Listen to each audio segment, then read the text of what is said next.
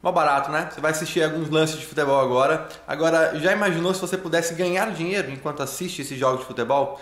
Pois é, existe uma profissão onde mais de 5 milhões de pessoas no mundo todo trabalham assistindo jogos de futebol, ou seja, ganhando dinheiro assistindo jogos de futebol, sem ter que vender nada para ninguém, nada, é só você, seu computador e acesso à internet. Quer saber mais como é que funciona? Clica no link aqui embaixo que eu te mostro, beleza? Grande abraço.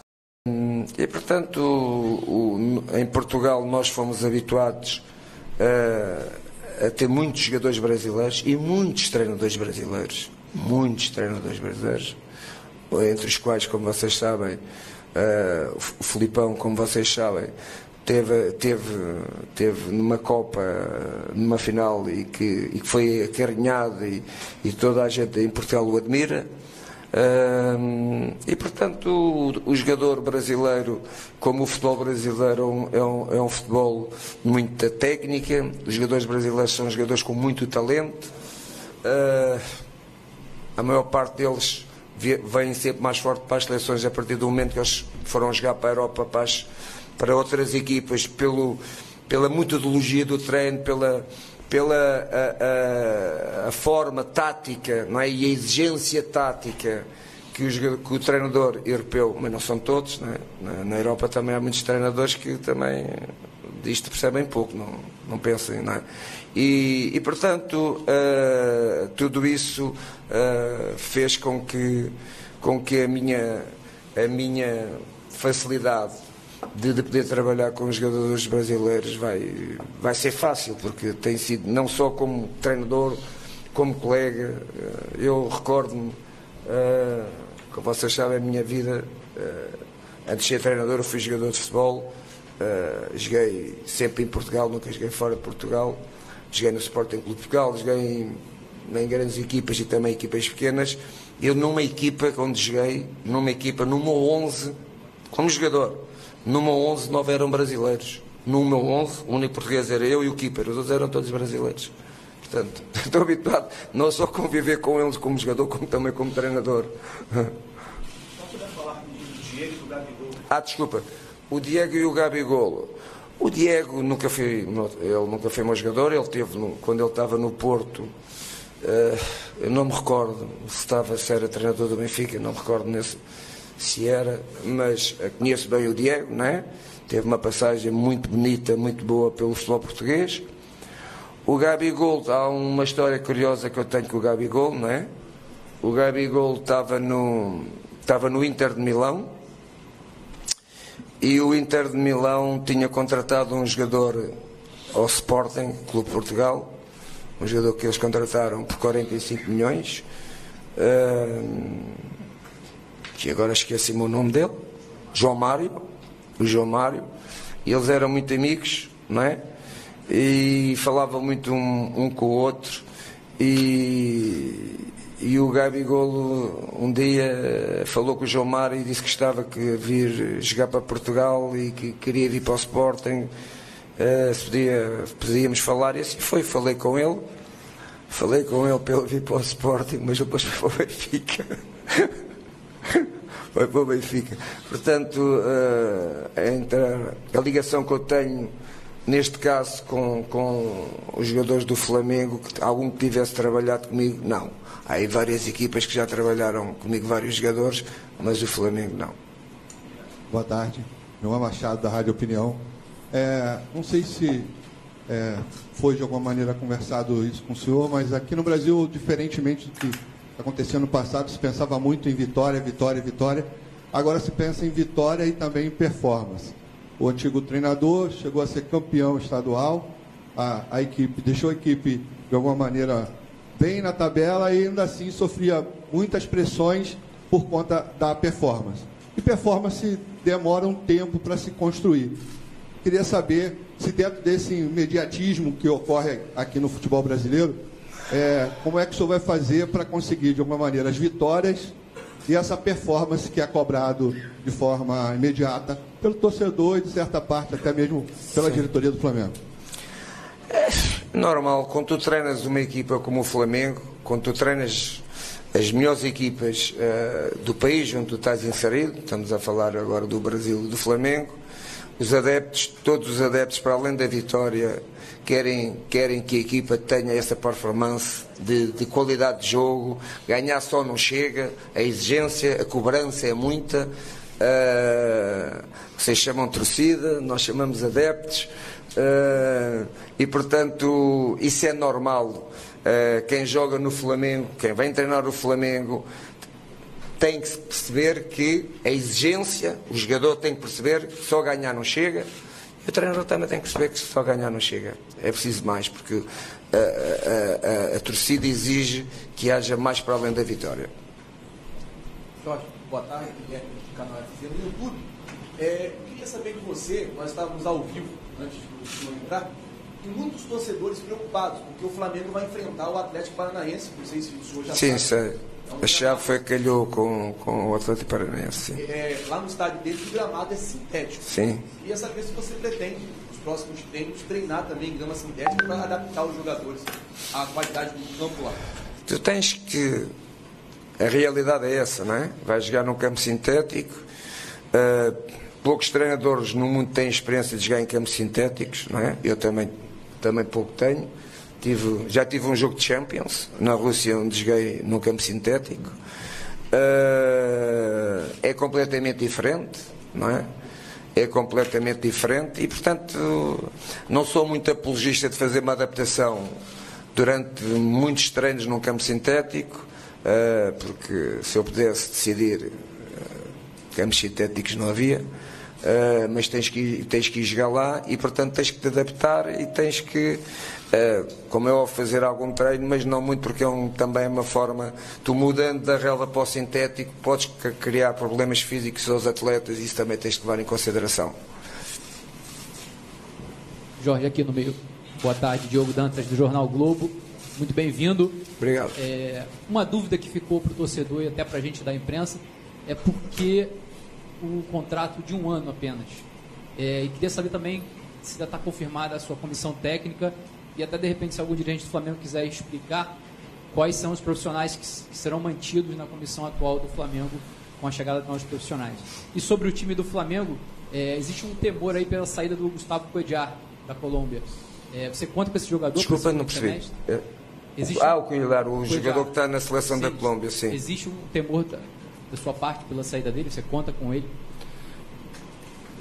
Não sei porque é que me está a fazer essa pergunta, não sei se houve alguma notícia em contrário, claro que conto, uh, mas respondendo, respondendo diretamente, tu, tu, não fizeste uma pergunta, fizeste-me quatro perguntas.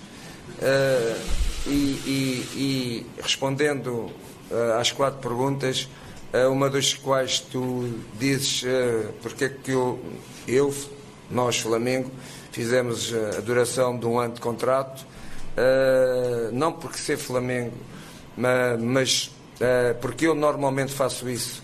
Eu, a partir do momento que, que saí do meu país, como vocês sabem, esta é meu, a minha segunda experiência assim, assim Portugal.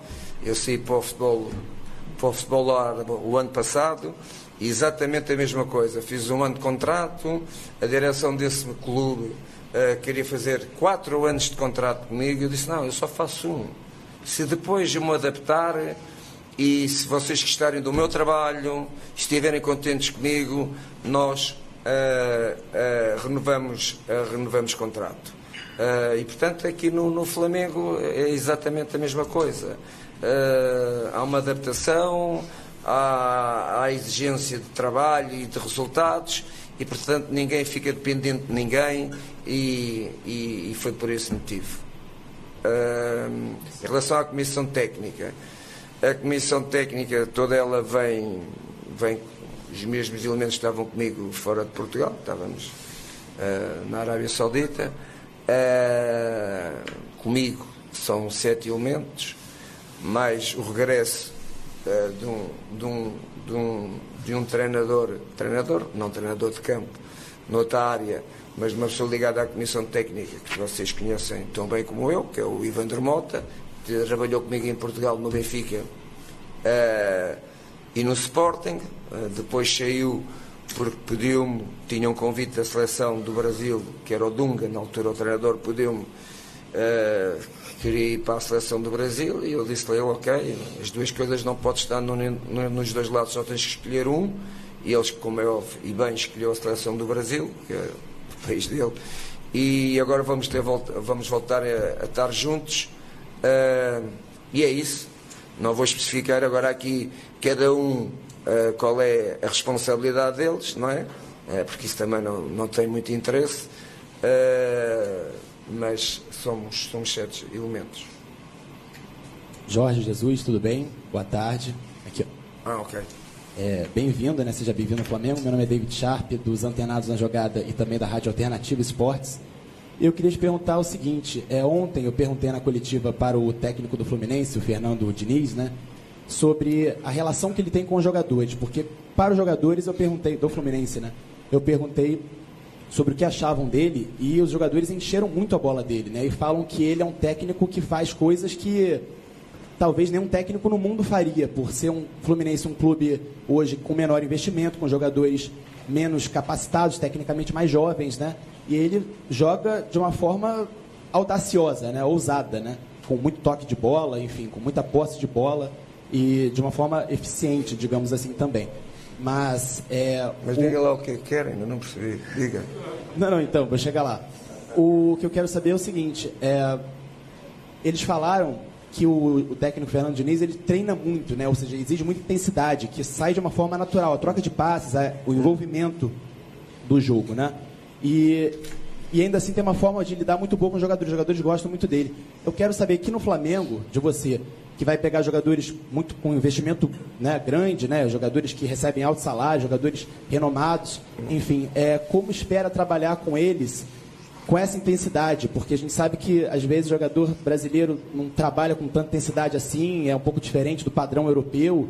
Como você espera lidar com isso para também ter uma relação boa com os jogadores, é, já que a gente sabe que, por exemplo, ano passado teve problema, é, o Dorival Júnior teve problema com o elenco, enfim.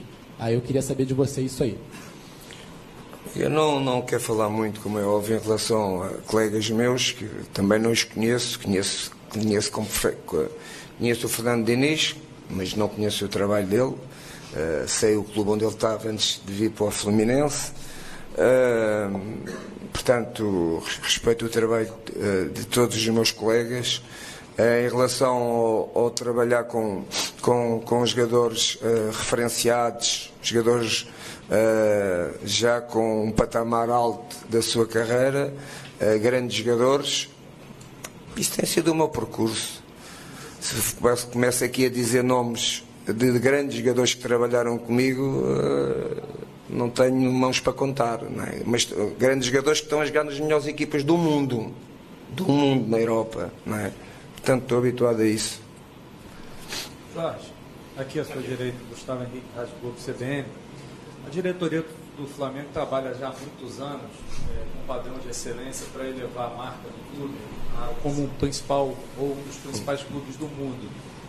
E a minha pergunta, você que é um cara muito experiente, já trabalhou em clubes gigantes, se desde que você chegou aqui você percebe isso na estrutura, no plantel, no pensamento da diretoria, de alavancar o Flamengo a esse top, não só na América do Sul, como também em todo o mundo. Se você acha que o Flamengo está no caminho certo.